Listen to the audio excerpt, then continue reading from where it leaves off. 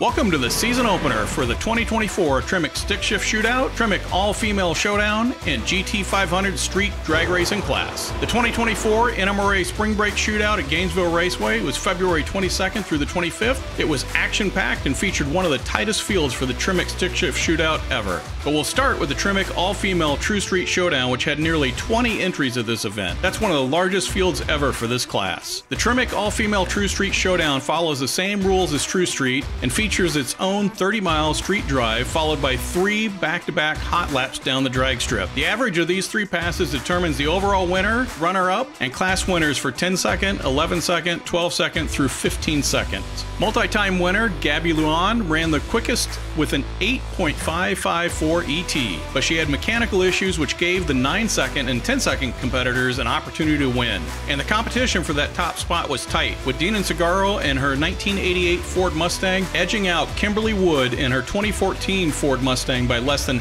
8 hundredths of a second. Deanan took top honors with a 9.595 second ET average to Kimberly's 9.669 average. The GT500 class, sponsored by Tremec, had seven 2020 to 2021 Ford Mustang Shelby GT500s competing against each other. To enter in this class, the cars must be equipped with the factory Tremec 7 speed dual clutch transmission, capable of upshifting in as little as 80 milliseconds. Qualifying runs ranged from 11.423 seconds at 130 miles an hour to top qualifier Dylan Royer with a 10.018 ET at 143.09 mile per hour. Through three rounds of eliminations, Dylan would end up edging out Russell Hoskins for the overall win with a 10.009 ET at 142.03 miles per hour. For all three Tremec stick shift shootouts in 2024, Tremec has partnered with McLeod Racing to step up the ante. If the winner of each stick shift shootout is running a Tremec transmission,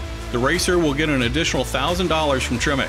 Racers who also have a McLeod clutch system will get another $1,000 from McLeod Racing. This gives racers the opportunity to take home up to an extra $2,000 for winning each Tremec stick shift shootout. And this year, for the first time ever, there will be an overall Tremec stick shift shootout season champion and receive a championship ring.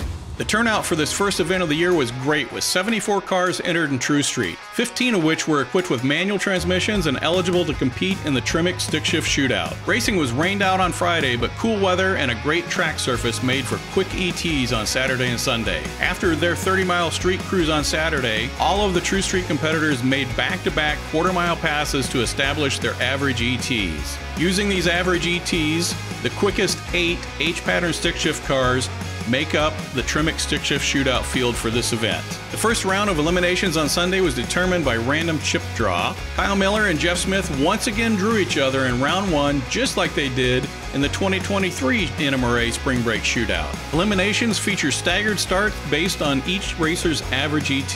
This meant that Jeff got the green first against Kyle in the first round of eliminations. Kyle launched hard to catch Jeff, but the alternator in Kyle's Mach 1 died, dropping fuel pressure at half track and giving the win to Jeff. Number one qualifier Danny Adair paired off against Alex Martinez in his yellow 1995 Mustang GT, but fought traction issues, giving the win to Alex. Next at the line were John Miller and Chris Roush. Chris had the advantage with his 10.37 average ET compared to John's 9.90 and took the win even though he had a 4 tenths slower reaction time. Carl Goyen ran against Robert Thompson.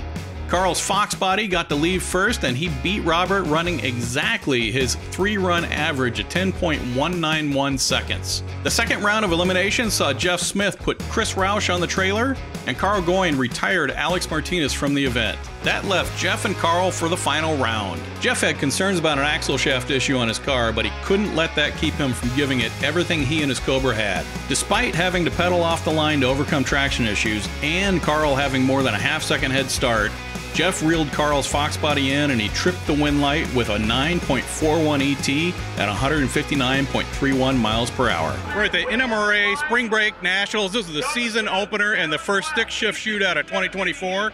Here with Jeff Smith. Jeff, you just won the first stick shift shootout of the year. How does that feel? Great, great. Good way to start the year out. And you, have had a busy year already. You just competed in Sick Week last week. A lot of road miles in that drag racing, and, and then bringing the car here. Uh, did you have to do any prep between the two events? Actually, uh, No, not really. I mean, you know, just change the oil and do regular maintenance. But um, no, a thousand mile cruise, eight, uh, five tracks, uh, five days. That was the most, you know, I've driven the car in a couple years. I normally just trailer it somewhere, take it off, race it, put it back on. So it was good to know that it still got it. And this also seems vaguely familiar.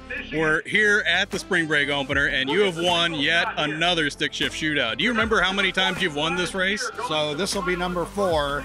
Um, but it, it is kind of wild because I'd been seven years since winning in 13 and 16, and then I had a seven year drought.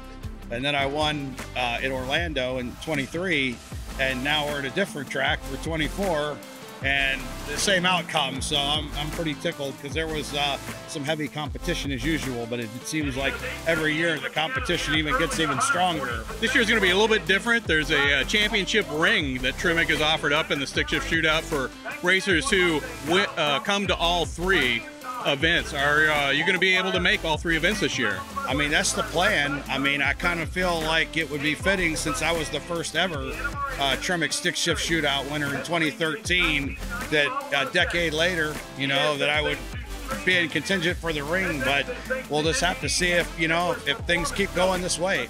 So at this particular event, there was an extra thousand dollars on the line if you were Tremec equipped, and another thousand dollars on the line for the winner if you're McLeod equipped. Now you have both, so you're going home with that money. Yeah, it's pretty sweet, man. I can, I can, I can always use the money. But yeah, no, McLeod and Tremec have been great. They've been a supporter for me, for me for a long time. They make great products. I'm living proof. There's, you know, a lot of. I mean, they'll work in your 12 second car or they'll work in an eight second car. So, and they support, you know, the racers. So we need to support them, and uh, just very happy.